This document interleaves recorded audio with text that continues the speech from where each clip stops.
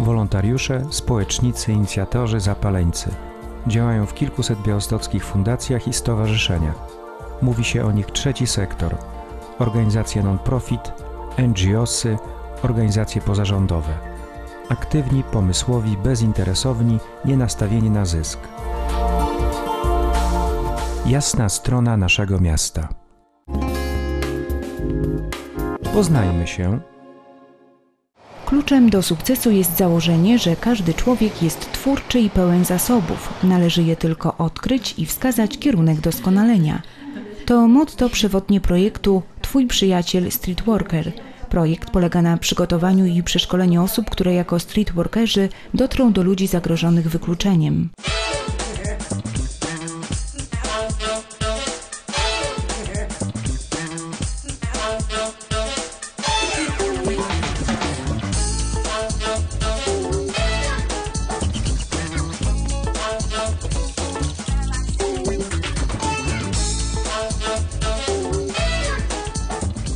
Dawna w ramach Fundacji Spesalvi e, oraz Dynamisu szukaliśmy takiej sfery społecznej, w której moglibyśmy rozpocząć działalność. Najważniejsza jest idea streetworkingu i coachingu. Są to takie hmm, nowoczesne metody pomocy, które, które mają pomagać ludziom w sposób jak najbardziej korzystny, prawda?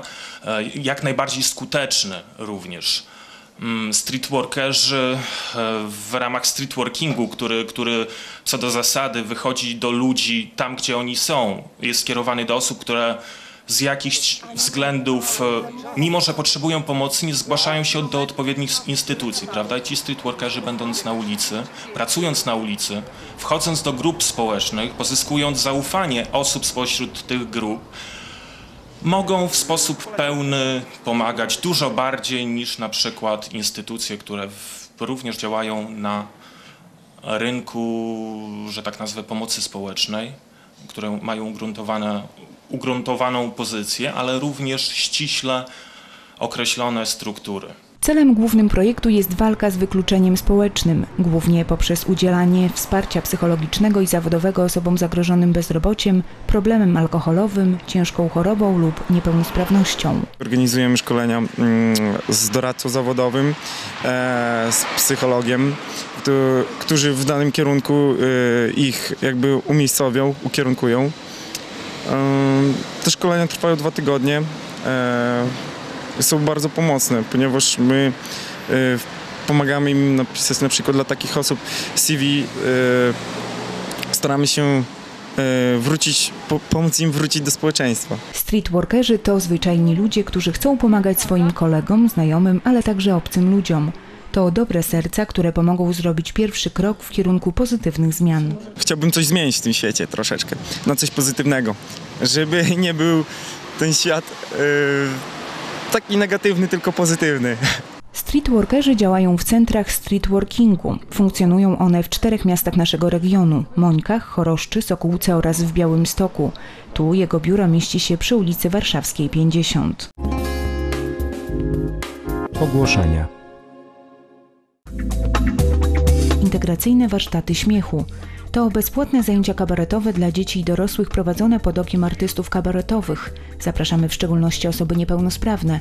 Szczegóły i zapisy do 10 września pod numerem 661 077 513. Liczba miejsc jest ograniczona.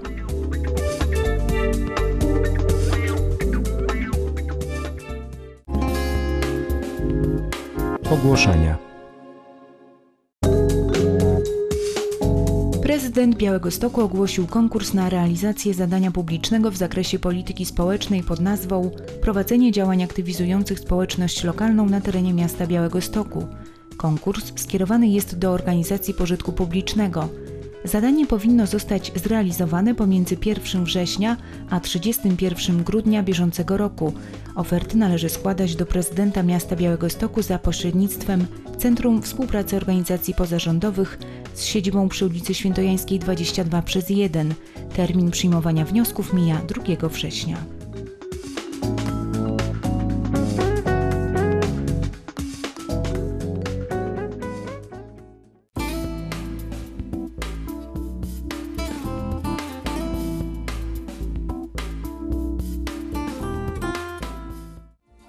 Wolontariusze, społecznicy, inicjatorzy, zapaleńcy – Działają w kilkuset białostockich fundacjach i stowarzyszeniach. Mówi się o nich trzeci sektor. Organizacje non-profit, NGOsy, organizacje pozarządowe. Aktywni, pomysłowi, bezinteresowni, nie nastawieni na zysk. Jasna strona naszego miasta.